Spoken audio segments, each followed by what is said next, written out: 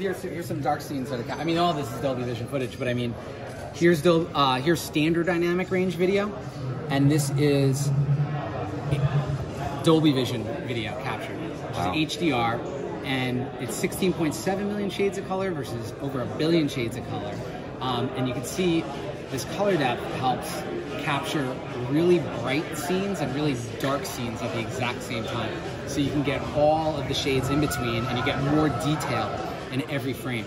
Um, so it's going to let you just see more and experience more, and it's These- absolutely beautiful. These two devices are the same, but with the Yeah. feature turned on and off. Correct. Okay. Yeah, correct. And the screens on the devices, or? Yeah, that's that's. Uh, these are 2K displays, and they're uh, but they're both uh, Dolby Vision certified and tuned. So they're both the same screens, is what? 100 percent the same. Okay. screen. You know what? I can hear. You want me to bring up this footage? I, I believe to prove- you. yeah, I trust okay, you. Yeah, alright. now, can- um, yeah, go for it. do you guys worry about um, features being confusing? Like, like for instance, ju- just that this worked with 4K 60, right?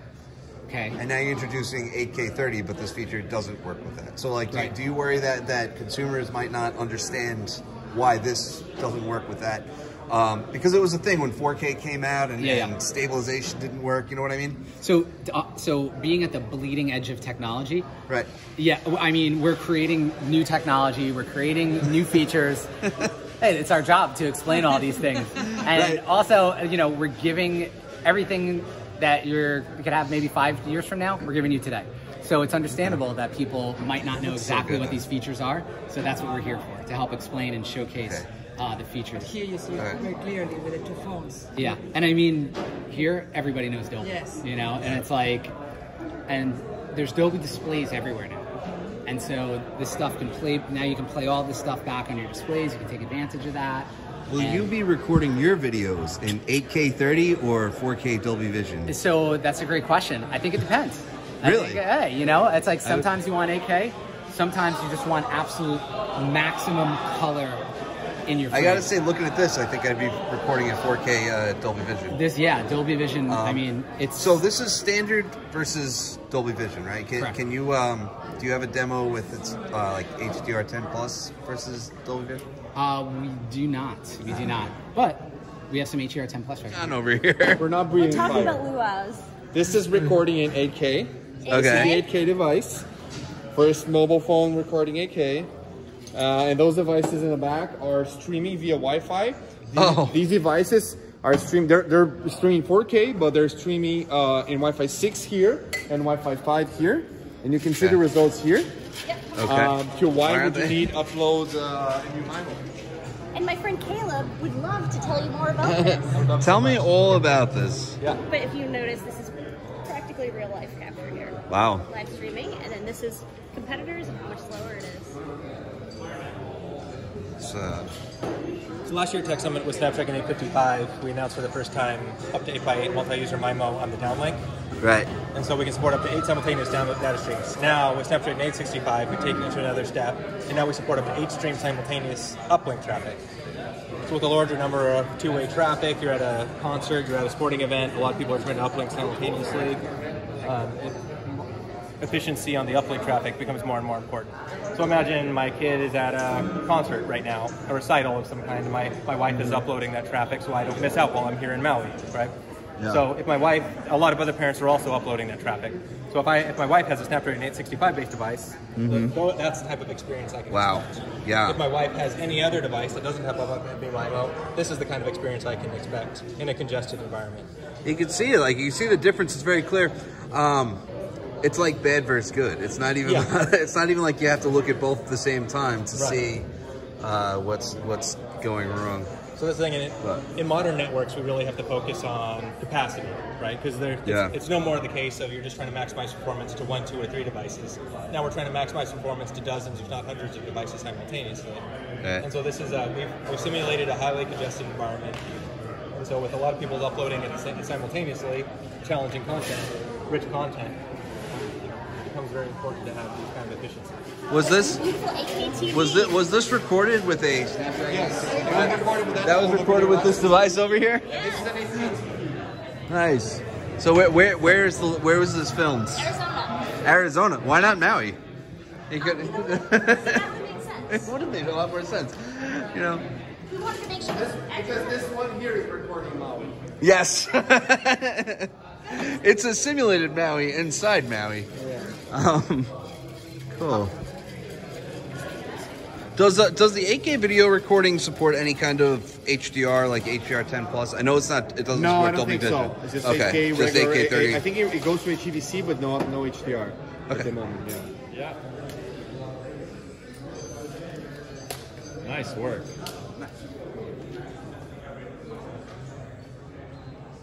Okay, so it got it got you moving a little bit, so let's just bring it in. You can move it. Yeah, you can. Oh, you just can't. Oh shoot, Oh, but you can't move it earlier. that's weird. We we can. Let's see. works when you do it.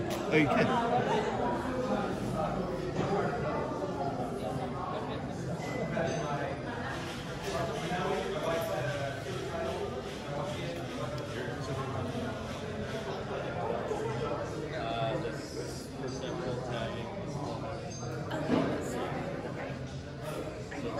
Cool. So this device with the, is with the Game Color Plus and this without the Game Color Plus. The With the- GCP, the, Game Color Plus. features. Okay. Oh, cool. What what game are we? This is uh, just a demo, a Fortnite demo, Fortnite. Okay. but it's a demo version, not the actual game. Well, I wouldn't know the difference, so.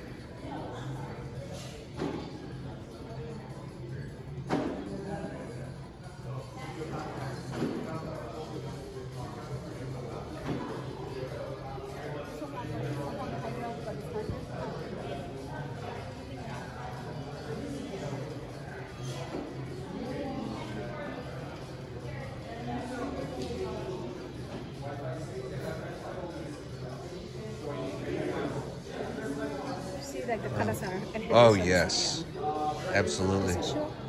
Yeah, yeah, I could definitely see the difference.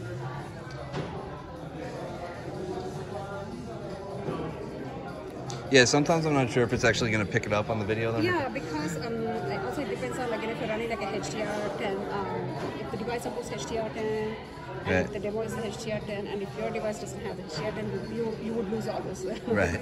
All the extra colors. Yeah.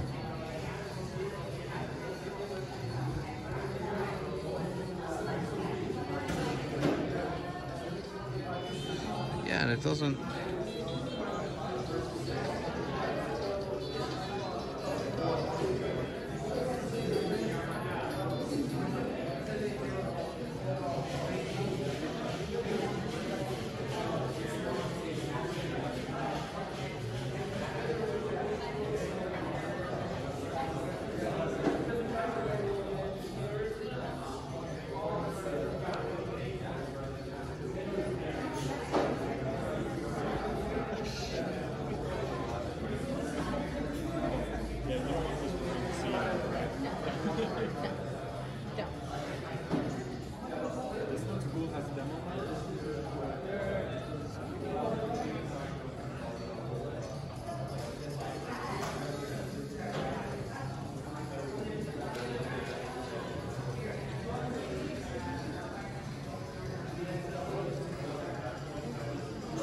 Changes depending on the lighting effects. So like if you see like it Oh. brightens up, Wait.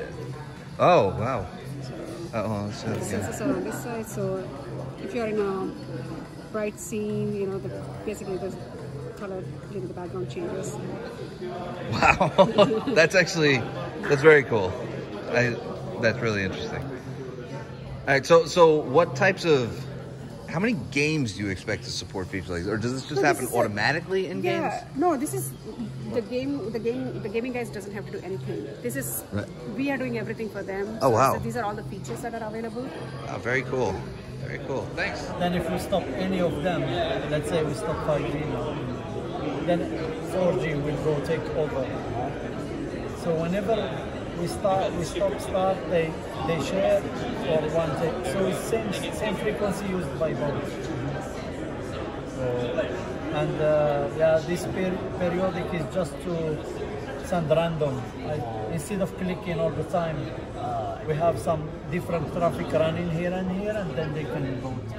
So, so, so this is for a solution for the, the operator. when you have these speeds, is when you can just make this happen. See, look at, the, the problem is they haven't still defined how they're going to charge you for that. What we have Right. seen is a, is a lot of correlation between 5G and unlimited data plans. So let's say, let's, let's start here, right? Okay. so we are uh, now in um, the airport in Phoenix, Arizona, after our trip to Sedona, and we want to share uh, with in our blog uh, some of our great footage that we capture in 8K using the Snapdragon 865 mobile platform. So I'll start building my video here. I have just a title here. I will add the 4K video to the project.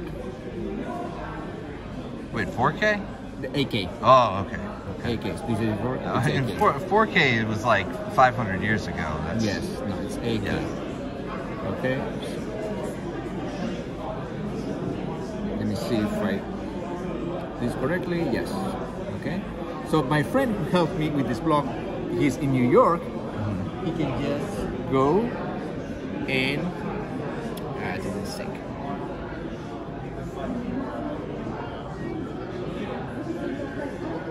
And continue the editing. So he will add, let's say, an ad and an end tag here. Perfect. He says that the video is ready for me to approve from Phoenix, Arizona for publication in 8K. Okay. Let's say I'll go back to Phoenix, Arizona.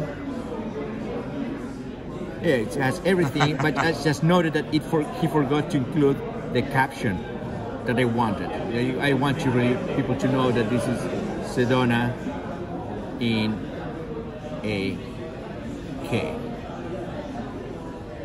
So all this to the full scene here. Find this text. I'll synchronize and.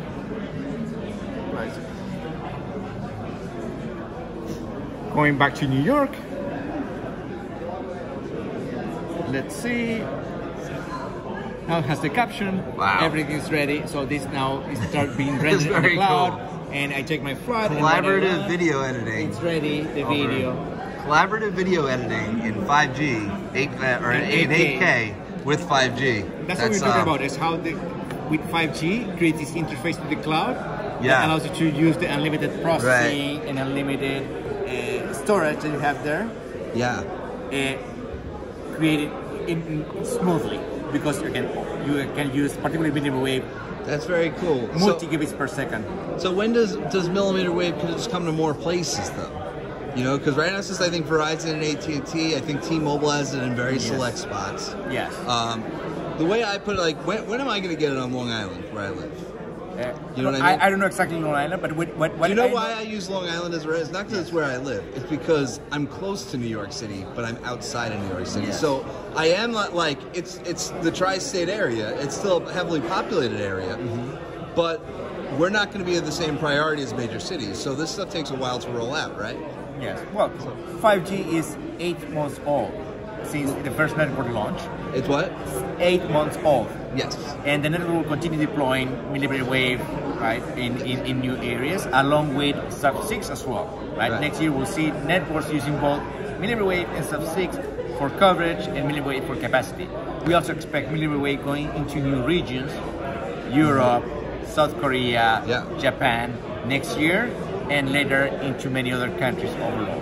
So when we'll be in Long Island, I I can tell you. I don't mean Long Island specifically. I mean places like Long Island, places like outskirts That- of the cities that- where it's being built That's out. a great question You know? for uh, the operators. Uh, Yes, I, I know, I know. plans. I know, I but think- what I know is that as next year we continue expanding, we will see the combination of both sub six and millimeter wave, and we'll go beyond the U.S. to other countries as well. Yeah, I, I, I'm just wondering when, when it's it's going to be in those. It's where it's going to be pretty much everywhere, you know. I- And when I say everywhere, I don't mean like like rural areas that are just going to take a while.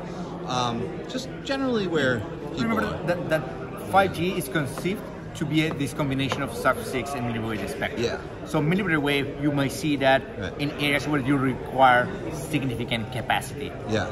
Indoor venues like here, right? I was working all these days. You connected to the millimeter wave network, and it's great, right? You don't get any. You get really connected.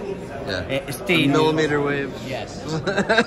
stadiums and all kind of concert venues, other high capacity venues. We see also millimeter wave going indoors for enterprises Mm. where the strong capacity is required and those Yeah, connectivity okay. capabilities are required.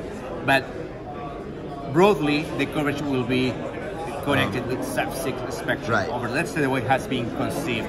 See, I'm a T-Mobile user, so I should be able to get it. Uh, that should be pretty much everywhere, right? With the 600, the low bands. With the low bands, yes. 600 You- megahertz, you- that's- you- using things like a dynamic spectrum sharing or just allocation of the spectrum for sub six, Yeah. you can see broad coverage. Right. We, we, we expect to see uh, next year nationwide coverage for multiple operators and multiple countries overall. So, so if I'm just a regular consumer, I'm just using my device. Um, there's no indicator to show if I'm connecting to, to sub six that's going to get me a couple hundred mega, megabits per second versus if I'm connecting to millimeter wave that's getting me what you just showed, which was about 1.7 gigabits per second, Yeah, which is two or more. Yeah, right, right. So, so um, do you do you anticipate that customers might kind of wonder why sometimes it's faster than others? Uh, I, I don't expect that that going into the consumer level. Yeah. Just to think with LTE, with LTE, you don't have indicator if you are in LTED, FDD, or TDD. Okay. You don't have indicator if you're using LAA unlicensed spectrum complementing the, the 4G or not. Yeah. You just see overall, you expect a consistent experience. That's and carriers true. will use all those tools. And you know what? Sometimes it's not consistent, right? So even on LTE, sometimes sometimes I have four bars of LTE and it's slow because I'm in a congested area. Sometimes I have one bar of LTE in it's fast. So yeah, you're right. Yeah. But, but we expect that at the end, what people would notice is that with 5G, you have a more consistent connectivity for the Right. use cases. For when you want to do an HD video call, or when you can just do, do- download your video very quickly for Yeah. your movie, or you want to do these kind of collaborative projects that use the cloud, it just will work. Okay. Hello. Um, so, so my question, I, I have, I have many questions about this, right? So, so this is coming in Android R, right? Um, and this is going to work with what? Just state driver's licenses? It, the goal would be in any type of ID, right? Uh, but yes. Um, so, well, I mean, I mean, the, there's that was you on stage, right? No, Jesse. Oh, Jesse. Jesse. I wish she'd come Okay. back because she could talk. She's Right. So so she used the the example of um, forgetting your ID when you go to the airport. So this would work at the airport then. Once it's implemented and states, Right. states, I mean, states have integrated because- it. Yes. Okay, so states have to, to integrate. It's not just gonna um, work everywhere because, like, the the difference between this and say, like, mobile banking, you're working with banks, right? Mo- Mobile payments, you're working with banks. This is something where you'd have to work with governments. Uh, so, so if you're doing this with passports, you'd have to, because that that means what? You have to work with federal government. Right. All federal governments don't have to accept it. Um, and the same thing that that would mean it would have to work with visas as well. So I mean, like, there's a big scope here that that's it was very briefly mentioned. Yes, there is. So so the plan is to get all that to work Yes. eventually. Right. Okay. But you could you could see how that would be more of an Android issue than it would be of a chipset issue. Right. Yes. So So wait for Jesse to come back. Is what you're saying? Okay. we would implement to those requirements. To your point, would there be 50 different states worth of requirements? Hopefully not, but I'm sure there's Right. not going to just be minute amount of information. What you Okay. would have it show up is whether you check yes, this person's good to go, no, something's wrong with this person, right? So they wouldn't even have to verify stuff, they just scan it, check. But they're just scanning a QR code. What's what's what's stopping me, a um, a young 22 year olds uh, from, from from screenshotting it, from screenshotting it and sending it to my even younger 17 year old cousin that wants to get into a bar. Yeah. You Um, know. Jesse could talk to you about that. um, but so there would there would be ways to verify: is it a screenshot? Is it is Okay. it a live connection? All those things. Jesse can talk to you.